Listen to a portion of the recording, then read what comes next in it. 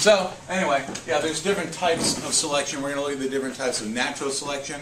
Although, like Ariel was studying, you can look at sexual selection and other types of selection in with it, and they can fall into these same categories. But to keep things simple, for the scope of this class, we'll focus on natural selection.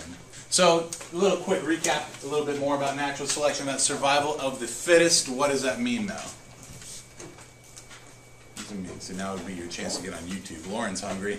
The most adapted to the environment will be the ones to reproduce. Yeah, the ones most adapted to the environment, better to survive, which means they're better to reproduce. That was Darwin's idea. So look at that. And we call those ones who are most adapted having the most adaptations. That's the word for those traits that give you an advantage in that environment. Specific terms, adaptation. Gives that connotation that's been modified by natural selection over time to better fit the environment. And it's all about allele frequencies. So what are allele frequencies again? Two point answer, Parker. I have a one point answer. All right, let me have it. How often an allele shows up in the population Yeah, that's the one point. compared to the total? There's the second one, compared to the total. So what's going to happen to the allele frequencies for beneficial traits? The beneficial traits will show up more often, and then like the non-beneficial is not like Yeah, so the beneficial traits, of the allele frequency is going to increase. Tyler, what about those detrimental alleles? What's going to happen to the alleles for those traits? Detrimental means bad. They would decrease. Yeah, right, they're going to decrease. Bryce, here's the hard one. What about the traits that don't really matter? Probably going to stay the same. Yeah, they stay about the same. Now you could lose some or gain some here or there. That's part of that genetic drift. But for the most part, if we just look at natural selection, the allele frequencies for traits that don't affect fitness aren't going to matter, so they're going to stay the same. Unless it's linked to a beneficial or detrimental trait, which is kind of fun. You. Geneticists are always interested in looking at linkage and stuff like that, but whatever. Remember, Natural selection can only act on pre-existing traits. It can't just poof a new trait out of nowhere. So we're only able to look at traits that are already in our population. So the question is, which traits are the good ones?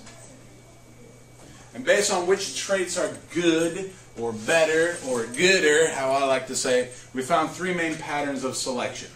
There's directional selection, what's called disruptive selection, and there is stabilizing selection. These are the three types, and if you're writing these words, well, there they went. But don't worry, because we'll come back to them, because you need some space to draw some pretty graphs. Now, it's all based on this idea. What's this thing called? Bell curve. Bell curve, very good. Why? Because it looks like a bell. Because it looks like a bell. You could pick it up and ring it like a bell, except it's a graph, not a bell. Sometimes also called a normal curve or a standard curve. What's this point right here? If on the Y they're doing like number of like people. And then down here, this would be an example of like IQ. IQ, they standardize 100 is average. And you could be lower or you could be higher. This is also what your test grades would look like if I graded on a curve, but I don't because that's way too much math.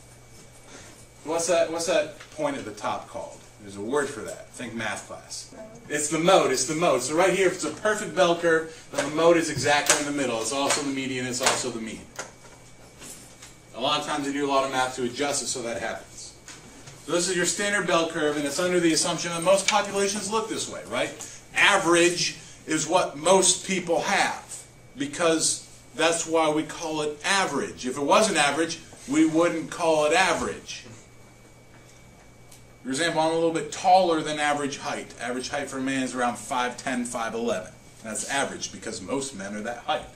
You got Shaqs like up here. You got some people that are down here. But right, it's all about who, what most people have. And that's the mode. That's the average. So if you look at directional selection, you could write this as happening where the mode shifts in one direction. See, the dotted line is representing the original population for whatever trait it was.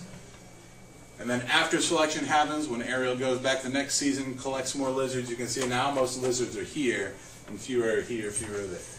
Could shift this direction, could shift that direction, that's directional selection. Natural selection has selected for whatever this trait was. A little bit more, whatever than average. Human height's a good example directional selection because people over the generations have been getting taller. All right? This used to be the average height. Average height for a man used to be like 5'4". That's not even tall for a girl anymore. Now it's up here. Does that make sense? That's directional selection.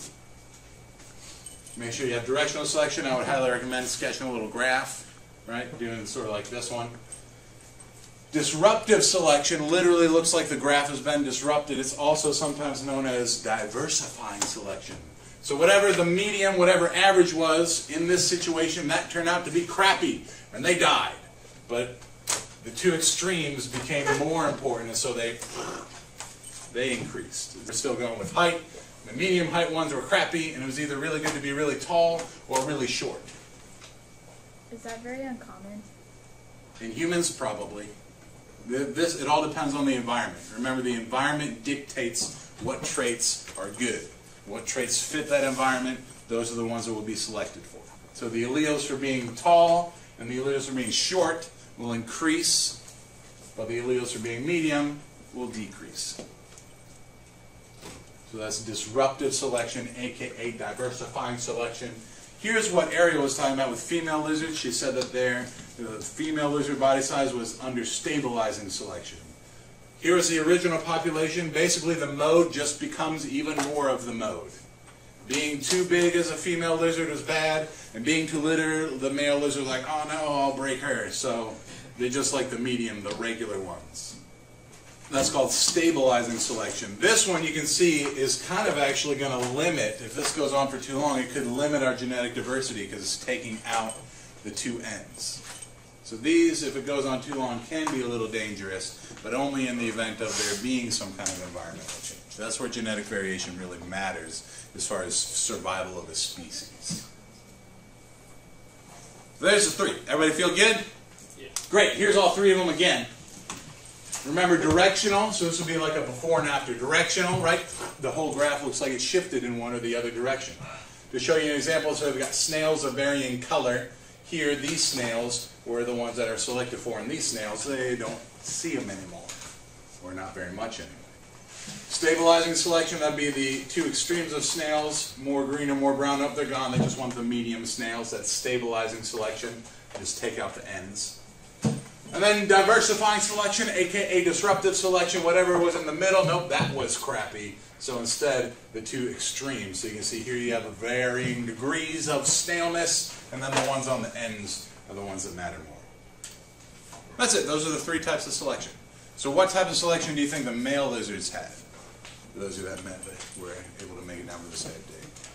Those that weren't able to make it down to the male lizards, bigger is better.